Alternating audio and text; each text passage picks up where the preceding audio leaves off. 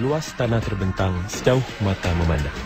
Tanam tanaman dan sawah padi menemani perjalanan dari Yogyakarta ke Surabaya. Episod pulau kali ini membawa anda mengenali Pulau Bawean. Di sinilah tapak asal dan permulaan sejarah orang Melayu berketurunan Bawean yang merupakan jumlah ketiga terbesar di Singapura. Minggu ini, saya bersama selebriti undangan Sufian Ahmad, seorang pelakon berbakat berketurunan Bawean. Sufian Ahmad atau lebih dikenali dengan gelaran Mr. Pakar merupakan salah seorang selebriti Singapura yang tidak asing lagi. Okey, uh, apabila uh, saya diberitahu diberitahu yang saya akan ke Bawean ni, uh, sebenarnya perasaan tu um, macam nak tak nak pun ada tak pasal saya pun tak tahu uh, tentang Pulau Bawean uh, saya pun ada juga tanya tentang uh, dengan makcik pakcik saya bagaimana Pulau Bawean info yang uh, pak cik dan makcik saya kasih tu uh, kurang jelas dan um, mungkin Pulau Bawean dahulu berbeza dengan sekarang kan jadi um, itu yang buat saya nak tahu apa yang ada di Pulau Boyan, bagaimana Pulau Boyan, keindahan Pulau Boyan tu, apa yang ada di sana, uh, itu yang buat saya uh, ingin ke sana, uh, ambil peluang yang diberikan. Lah. Suku Melayu yang ketiga besarnya di Singapura merupakan keturunan Bawean. Menurut banci penduduk pada tahun 1931, terdapat seramai 9,374 orang Bawean di Singapura. Orang Bawean mula menetap di Singapura sejak awal abad ke-19. Pada umumnya, kedatangan orang Bawean ke Singapura pada waktu itu ialah untuk mencari pekerjaan dan meraih keuntungan berbentuk barang kemas dan barang-barang berharga yang lain untuk dibawa pulang ke Bawean.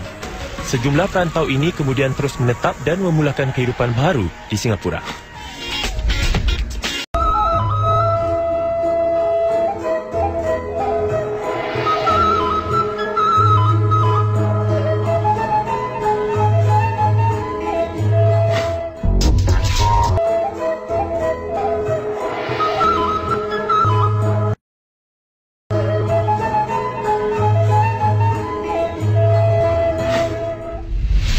Kita teruskan perjalanan ke Danau Kastoba untuk melihat keindahan alam semula yang terdapat di Pulau Bawi. Pulau Bawean terbentuk daripada retahan bumi dan gunung berapi di kawasan tengah itu. Pulau ini adalah kawasan gunung berapi yang tidak lagi aktif.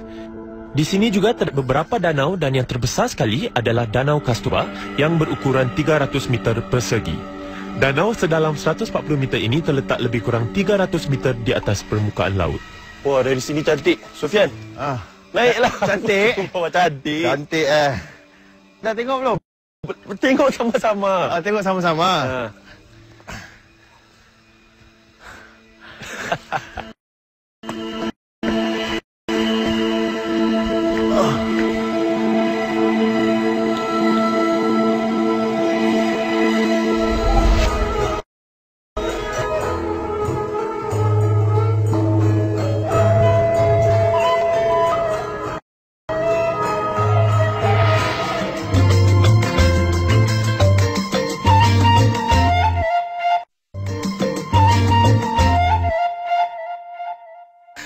Di sekeliling Pulau Bawean juga terdapat pulau-pulau kecil termasuk Pulau Selayar, Selayar Noko, Noko Gili, Gili Timur dan Nusa. Kepulauan ini sering dirujuk sebagai Pulau 99 Bukit. Baik.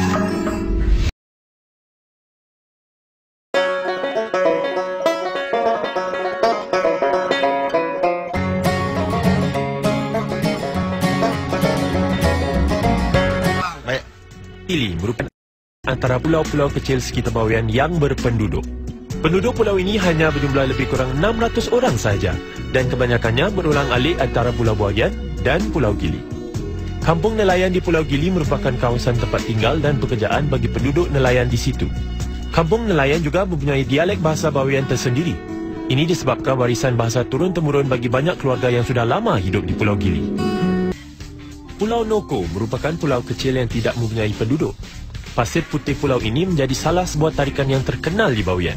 Pasir putih tepi pantai, pantai, pantai. tepi pantai pasir putih, Putih, putih. pasir putih tepi pantai, tepi pantai pasir putih, Putih. pasir putih.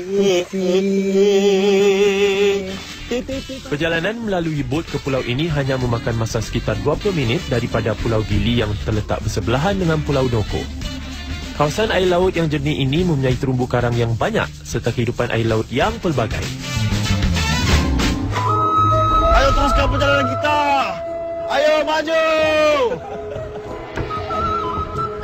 Dah, Daim.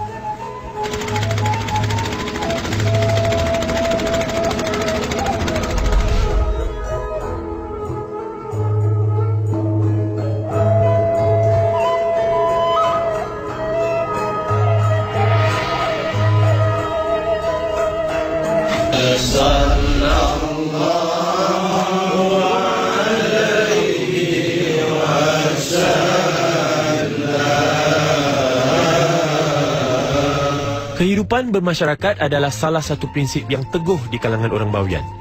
Sifat bergotong royong ini dapat kita lihat dalam sambutan meraih kehadiran cahaya mata salah seorang penduduk di Pulau Bawian. Talian kekeluargaan dan hidup bermasyarakat amat jelas dalam kehidupan seharian mereka. Meskipun berasal daripada kampung-kampung yang berlainan, penduduk-penduduk di sini tidak keberatan untuk bersama membantu menjayakan majlis-majlis dan upacara-upacara agama.